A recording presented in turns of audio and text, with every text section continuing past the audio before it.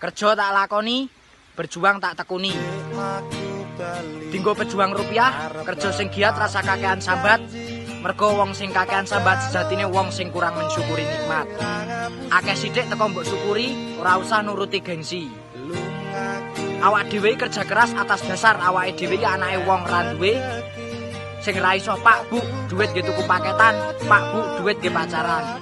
Tak omongi yo, pacarmu bakal bangga nek dhewe dijajaki nganggo hasil keringetmu dhewe. Salam Upil Siti sak jose.